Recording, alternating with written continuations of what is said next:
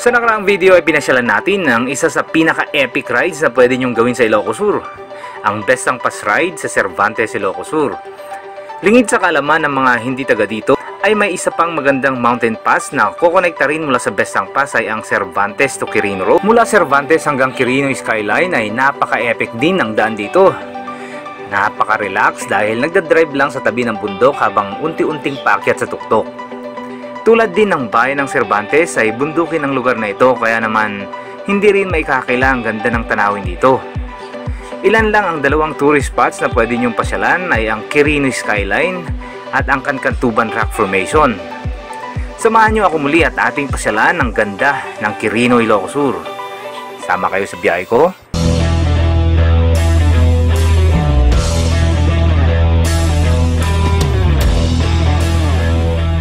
Good morning. So ito yung magiging mapa natin ngayong araw. Actually, isama ko na yung map nung nakarang video para mapagdugtong ko. Dahil dapat isang video to itong lakad na to. Kaso nga lang sobrang haba kasi yung video ko from Tagudin hanggang dito Cervantes. Kaya hindi ko na sinama yung map. Kaya pinaghiwalay ko sila pa, pala. Uh, so mula dito sa unang bayan which is yung Tagudin. Yan Tagudin Ilocos Sur. Dito na kayo kakanan Okay, dito na kayo kakanan pataas papunta dito sa bundok na to. Which is yung Bestang Pass. Kung familiar na kayo sa Bestang Bestang Pass, kung hindi pa kayo nakakadaan dito, aba eh na-miss out nyo na yung kalahating part ng buhay nyo. kung kayo mahilig sa motor, mag-adventure, eto magandang daanan nyo. Bestang Pass. Ito makikita nyo, nandami ng twisties dito sa daan na to, sa part na to. So, babagtasin natin bale itong mataas na bundok na to. Bababa tayo dito sa kabilang side which is yung Cervantes. So part nitong bundok na to ay Cervantes guys ha. Itong part na to. So yung Besang Pass ay part din po siya ng Cervantes. Pero dito sa part na to, sa baba naman, part ng Suyo. Ayan, Suyo. So pag nandito na tayo sa Cervantes, which is yung last na video ko dito nag dito nagtapos. Ito naman ang ibabiyahe natin mula naman dito sa Cervantes Ilocos Sur. Oops, ano? Cervantes Ilocos Sur papunta dito sa Quirino.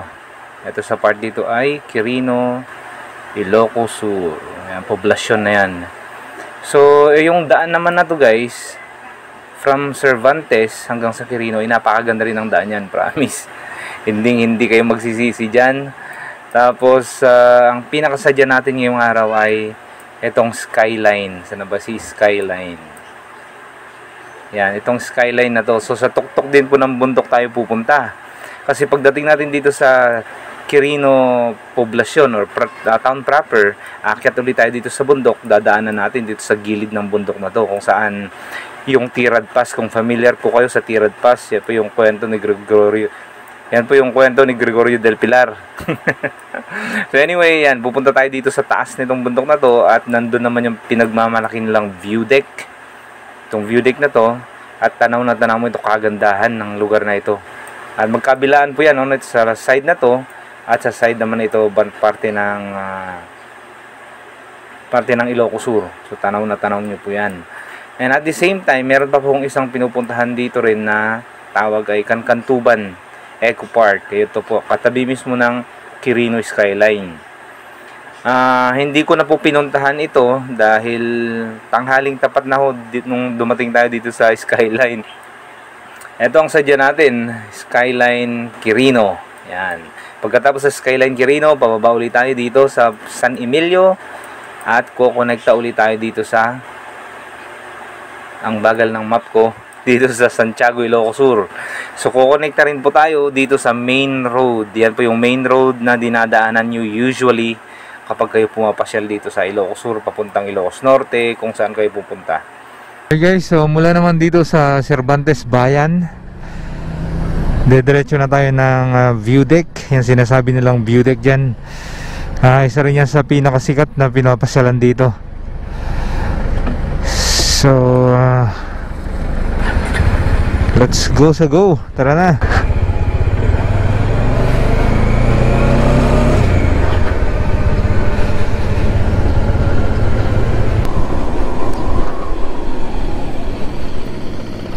Tang, ito yung pa San Emilio niya. San Emilio? Oh, diretso lang. Thank you.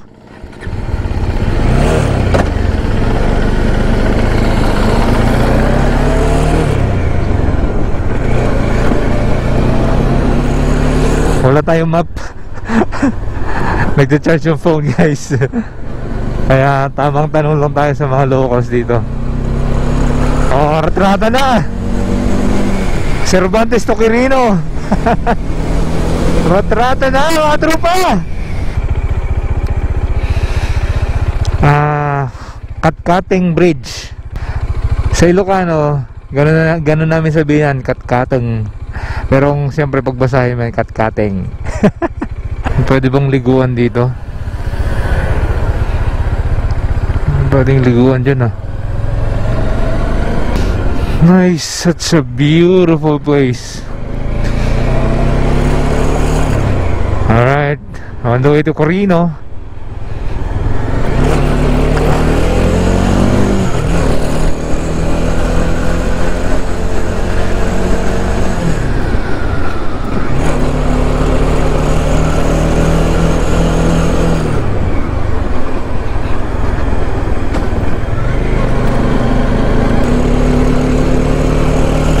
Akyatan din pala to. Matinding akyatan to.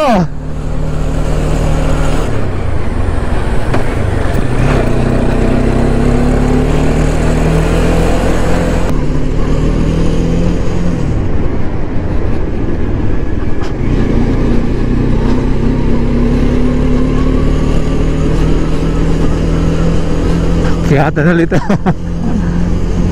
Alright.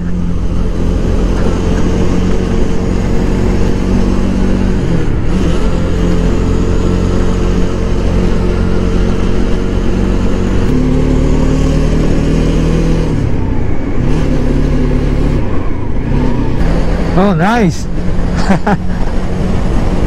Kulang na lang asfalto to.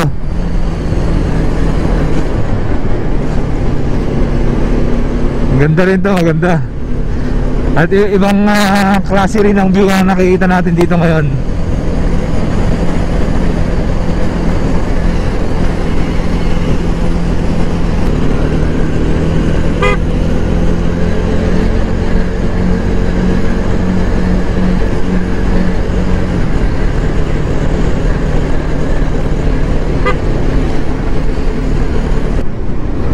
So mataas na parte ulit to. Ito, simula na pine trees ulit. Ayan, siguro tinanim yung mga yan.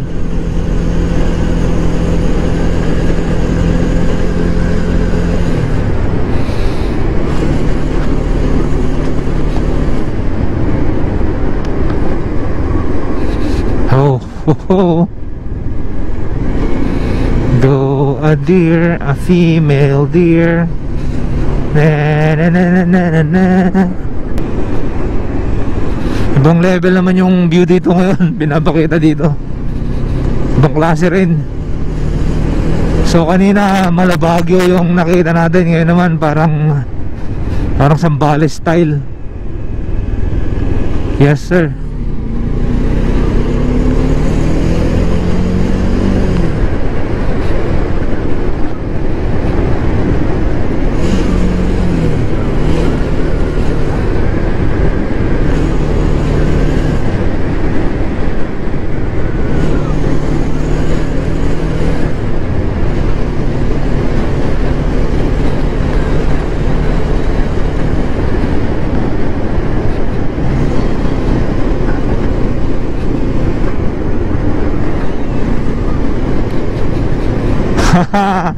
Ibang view na naman to. Iba rin.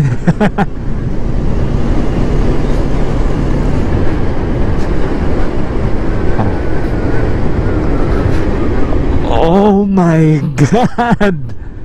Oh my god. That is awesome, man. I think ito na yung ano. I think ito na yung uh, tirad pass. Itong part na to. Kung di ako nagkakamali ha.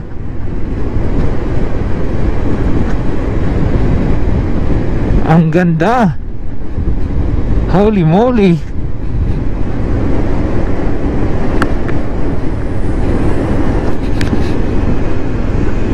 Holy shit.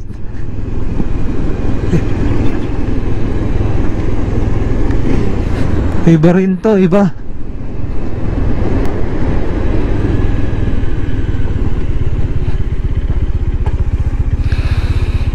Oh wow.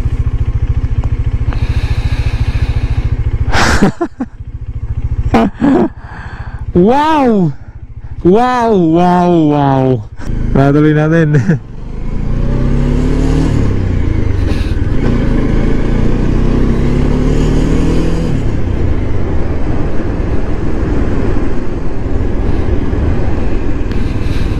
Ang ganda naman ng bundok na yan.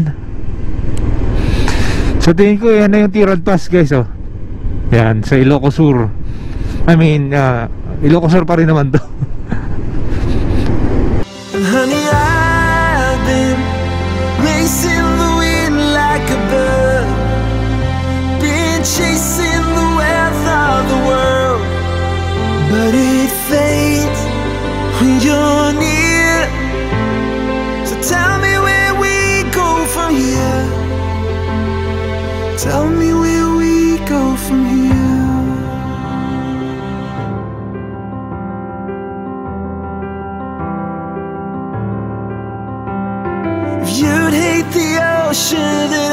turn the water to land. If you'd miss the sunlight, I'd fill up the cups in my hands. And honey, I've been racing the wind like a bird, been chasing the wealth of the world but it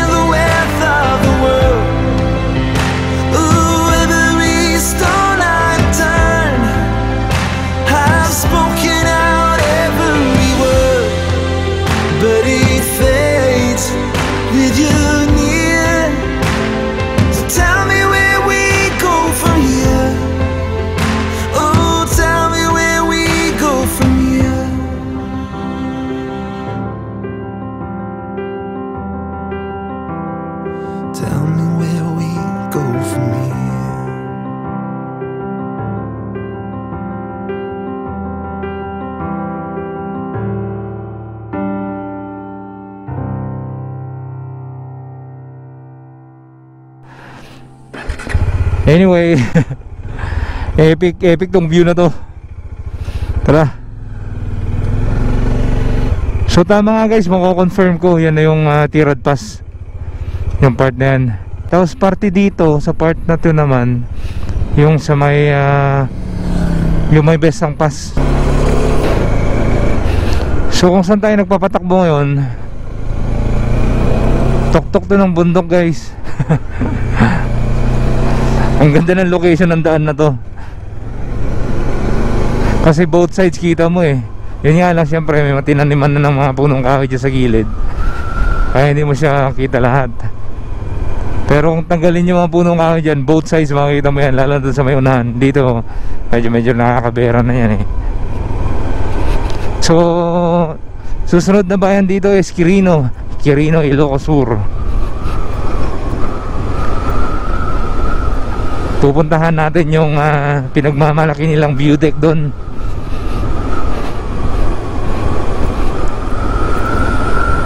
Daan pa lang na to solid na eh. Ganda oh di ba? Holy moly.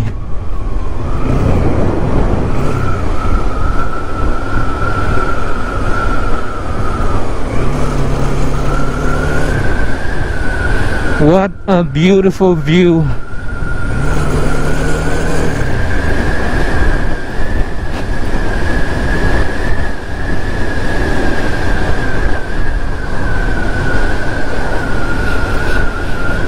Ho ho ho!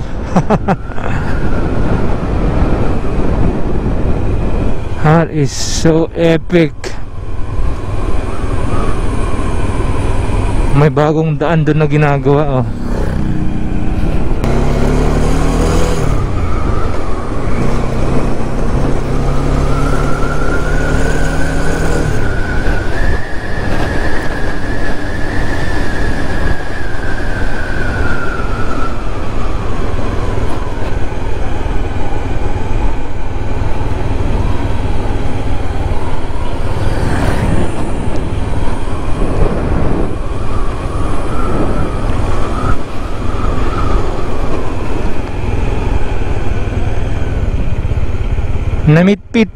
The cattle land. Ah, no wonder kung bakit cattle land dahil ah, pastulan to. Ayan oh. Kasi kita mo naman sa baba oh, may bagong ginagawang daan dun oh. Gusto kong makita ang daan na yon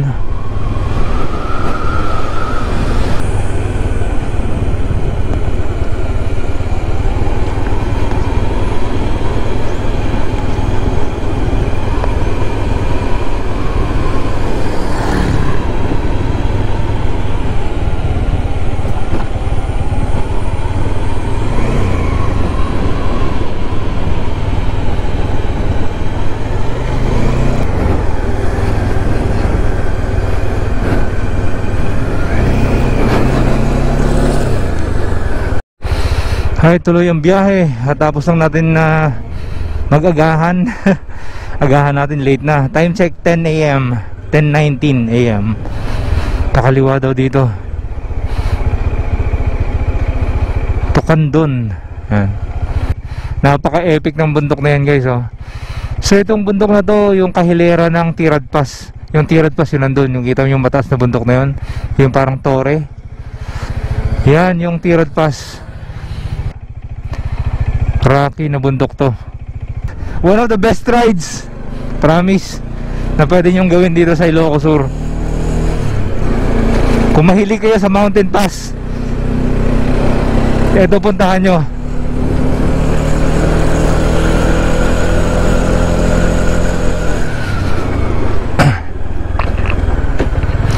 Ako nakakabitin to. Grabe yan Ang ganda ng bundok na to.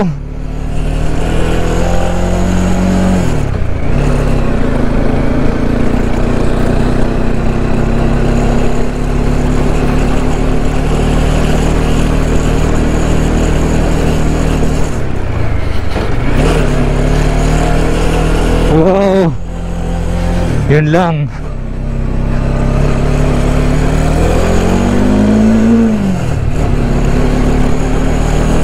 mga riders ha, palapit tayo ng palapit dito sa bundok na to. Mukha siyang ano mystic mountain.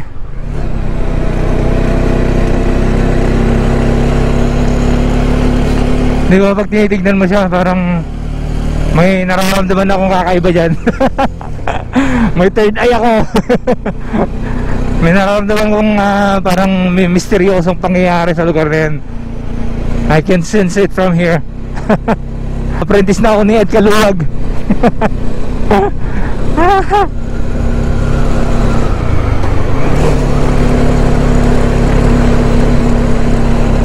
At binging-bingi na ako mga kaibigan. Dahil sa kaakyat baba akyat baba. Ito na yung bundok oh. Astig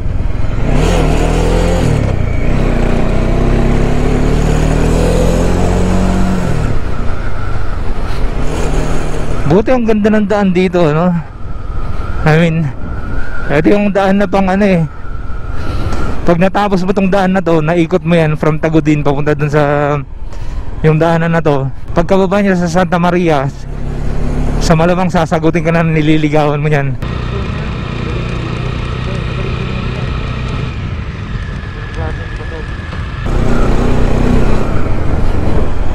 Kankantuban.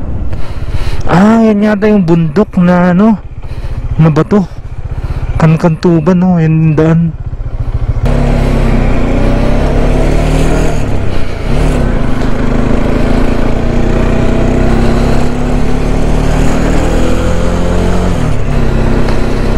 Kaso lobat na ata yung drone natin.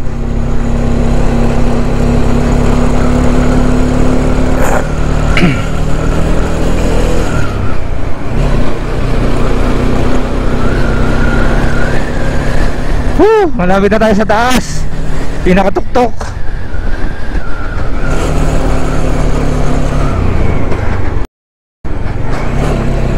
Oh, ito na yung pinakamatarik na akyatan. Ibig sabihin, malapit na nga tayo.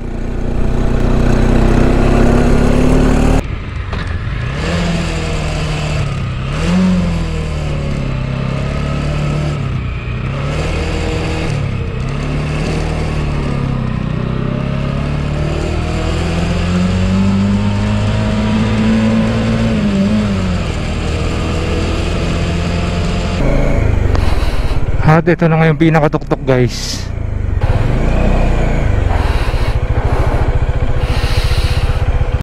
Ha, ito na yung ah, skyline dito sa Quirino, Ilocos Sur.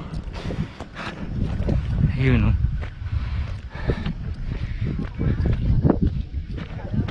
I think ito na yung highest point ng daan na ito. Hindi ko lang alam kung gaano kataas to. Mamaya. Tingnan natin.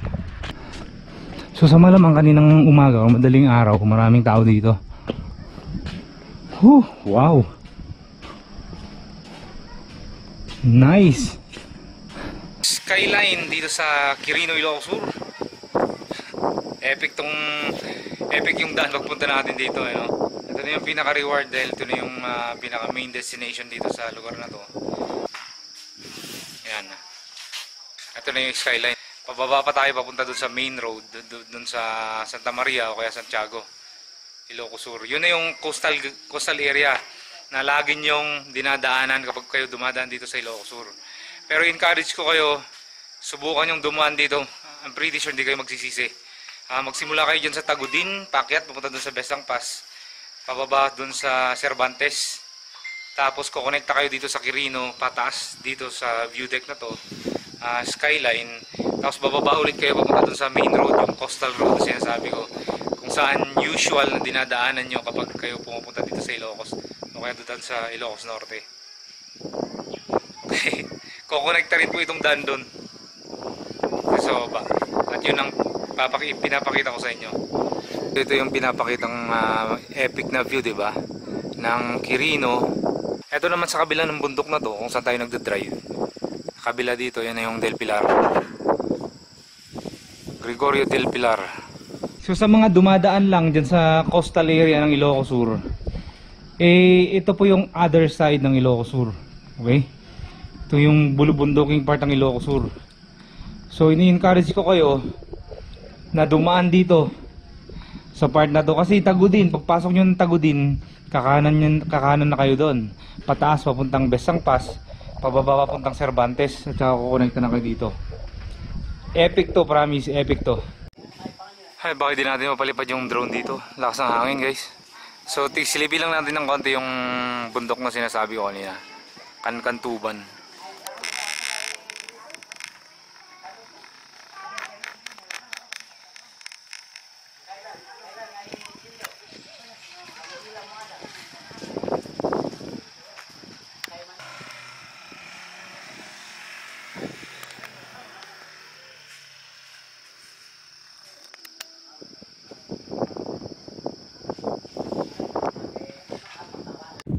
Kabit lang tayo ng sticker dito. Ayan, sticker board nila. So yun, encourage ko kayo sa mga nandyan sa, no, sa south. Pag pupunta kayo dito sa north, sa Ilocos region, daanan nyo to. Skyline, Quirino Skyline po yan pangalan. So ito yung bad trip yung nadala kong sticker, yung luma. ito yung prototype na sticker ko eh, nagsisimula pa lang ako. So anyway, yan, dalawa. Honey, I've been racing the wind like a bird, been chasing the wealth of the world, but it fades when you're near. So tell me where we go from here. Tell me where we go from here. Ito na, dyan tayo nang galing. Sa part na to. Parang mapush sa camera. Ah, pero dyan tayo nang galing. Yung likod natin na to, yan yung papuntang Vegan, papuntang Ilocos Norte. Dito naman sa harap natin, yan na yung pabalik papuntang Manila. So yun, mal- dito malapit din yung ah, Santorini of the North. Diyan lang sa may likod natin. Pero hindi na natin pupuntahan. Napakainit. Ah. Anyway guys, ah, siguro kain muna tayo sa Candon City. Yan sa next na bayan or next city mula rito. Tapos diretso uwi na tayo. Alright. So tara na, uwi na ako. Hinahanap na ako ni Commander. Alright, National Road. Susunod dito sa Candon. Punta naman tayo sa Santa Lucia. Santa Lucia na yan. Santa Cruz. Tapos Tagudin. Yun na yung dulo kung saan tayo pumasok kanina papuntang Besang Pass. Alright, uh, lunch natin. Full meal na to guys. Empanada. Tapos uh, itong ano, mami. Grabe itong mami nila. Dami oh. Beef mami yan. Napakarami, 45 pesos lang. Ito. Alright guys, yan na yung arko. Ito na yung arko ng Ilocos Sur. At kung nagustuhan mo itong video na to, huwag mahihiyang magbigay ng likes. And please consider subscribing for more videos. I'll see you on the next one. Honey, I've been racing the wind like a bird, been chasing the wealth of the world, but it fades when you're near. So tell me where we go from here. Tell me where